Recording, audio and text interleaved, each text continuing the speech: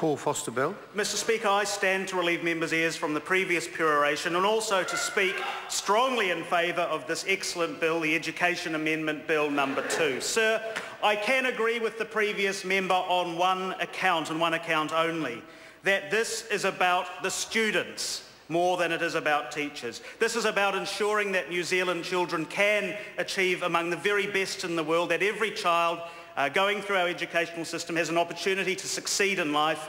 And I'm proud to stand by our excellent Minister of Education, the Honourable Hekia Parata, and the Honourable Stephen Joyce, the Minister of Tertiary Education, in supporting this legislation. So I would like to refer to a couple of remarks made by the Honourable Member Kelvin Davis um, who I have respect for as a former practitioner in this profession.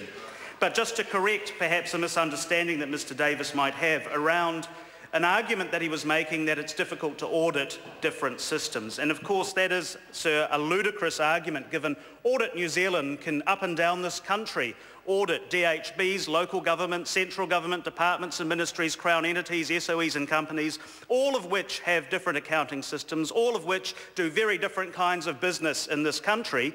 And auditing is about ensuring the uh, approach is taken through their processes is correct, that they are following their own processes. It's not about going around dictating and determining what the outcome should be and how schools should run themselves. So that's just to correct that misunderstanding. Sir, one other point. Um, he talked about uh, a maximum of five teachers being permitted under the bill. Of course, um, that was the original draft, which has been uh, amended to to make it a uh, no minimum, in fact, of uh, no maximum of teachers, but a minimum number of teachers. So I think that's a positive change to the bill. Um, but it is an important principle that people are appointed to this body on merit rather than representing uh, different interests within the community. I commend this bill to the House. Now, this is a split call between